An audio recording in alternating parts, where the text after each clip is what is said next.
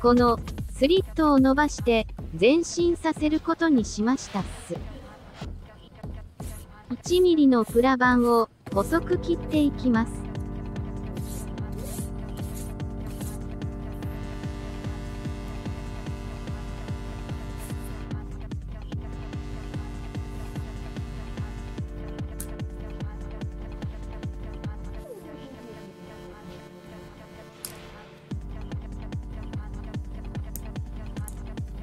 必要な長さにカットします。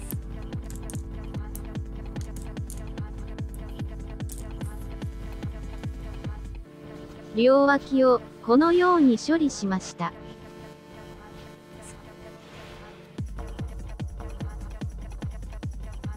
隙間になる 1.3mm 厚のプラ板を作り用意しておきます。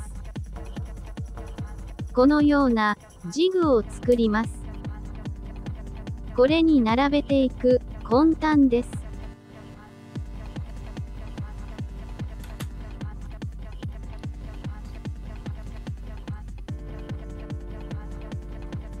これは隙間用。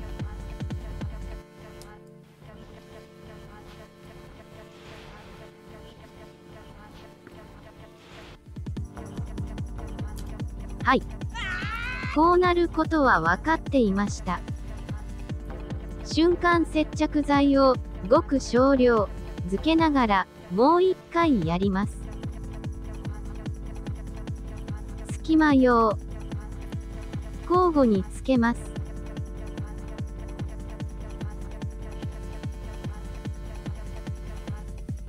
必要な枚数をつけました。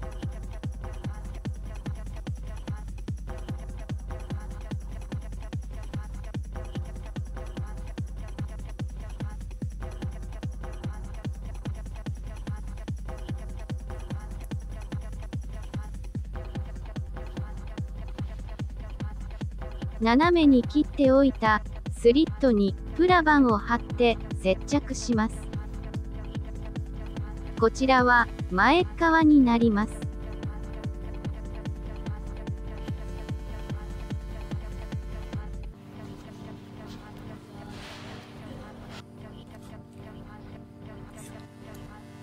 次に L 字に切ってカットしておいたこちらもプラ板で接着してつなぎます。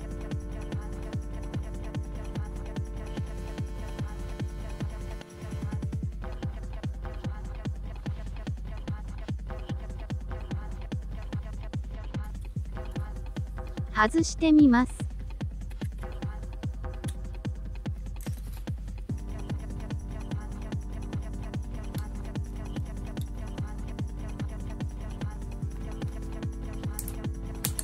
よしよしよしよしよし。隙間用のプラ板を外していきます。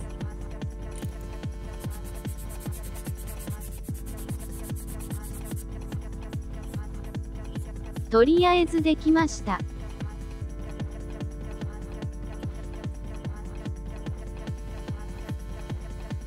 スリットを前進させるのでカットします。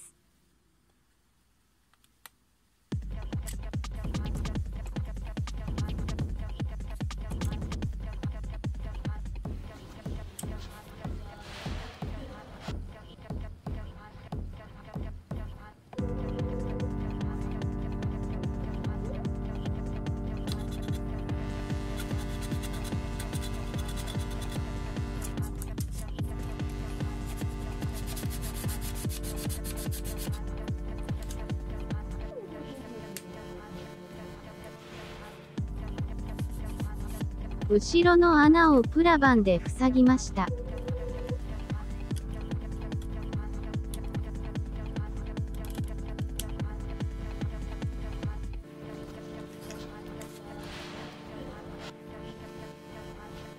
後ろ側のスリットはボディに乗っかる感じになっています。あとは後方に向かって下がっていくように削って調整します。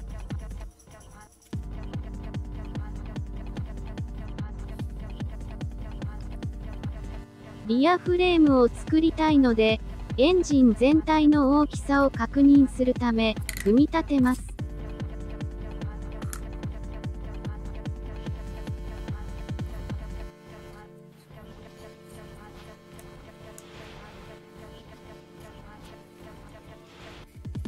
プラが薄いところもあるので、中に補強を入れました。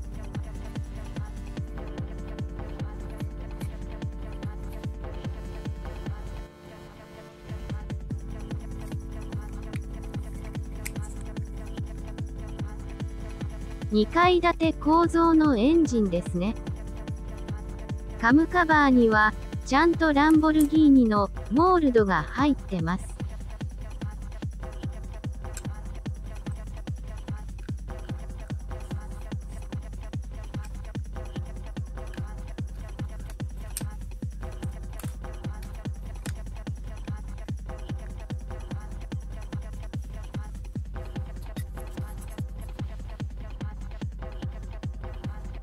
このエンジンマウントのようなパーツは外します。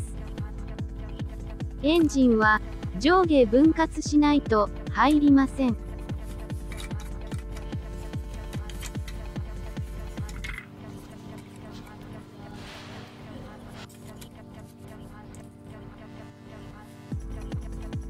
エキゾーストの横の広がりをチェックしておきます。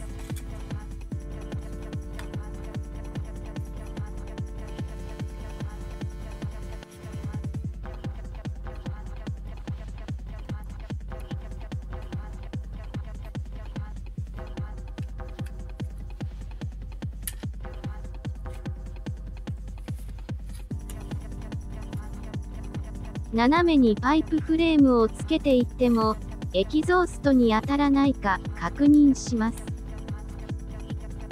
大丈夫みたいですね。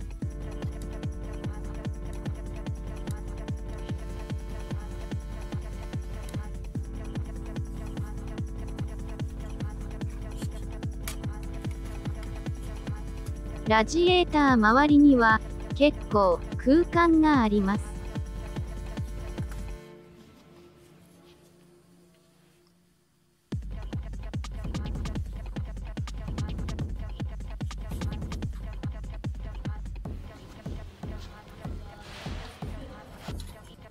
うもこの板の部分が実車にはないので切り取ります。キットの四角いフレームを接着してあるので切っても問題ないようです。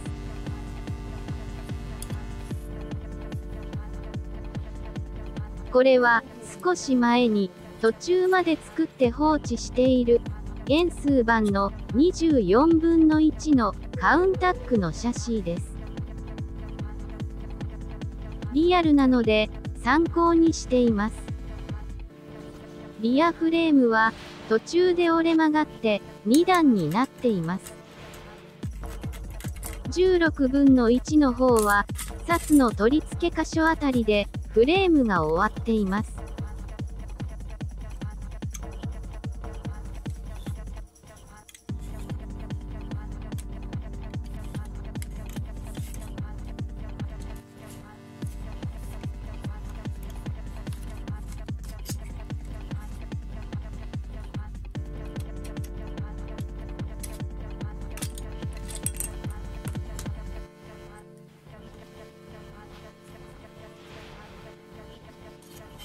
先ほどの板状のパーツを切り取ったのでガラーンとなりました。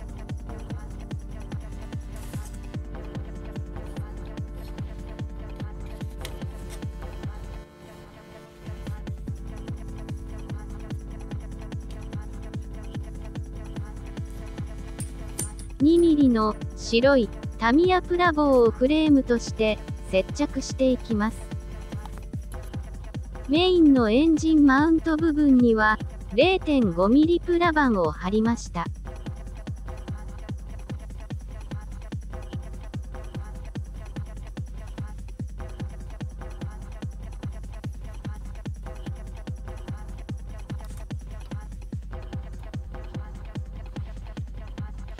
資料を見ながら、どんどんフレームを足していきます。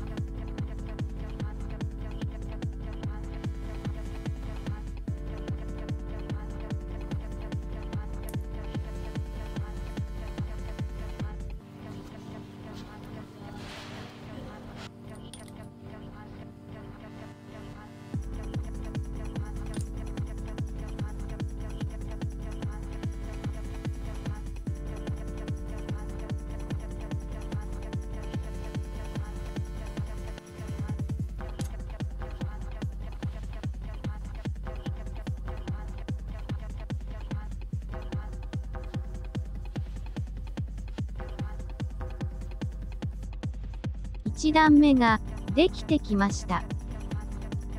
次回に続きます。ご視聴いただきありがとうございます。ぜひチャンネル登録をお願いします。